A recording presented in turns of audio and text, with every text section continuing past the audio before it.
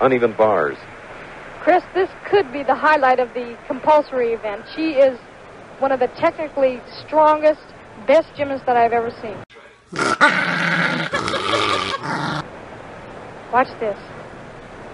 Beautiful rhythm, right to a handstand.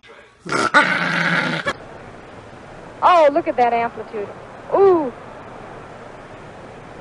She is really moving well.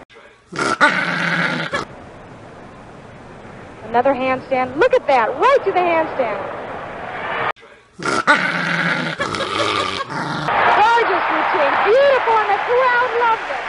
It wasn't just the crowd that loved it. And it is A perfect ten on the first line. No gymnast in Olympic history had ever received a perfect score, and to do it with a compulsory routine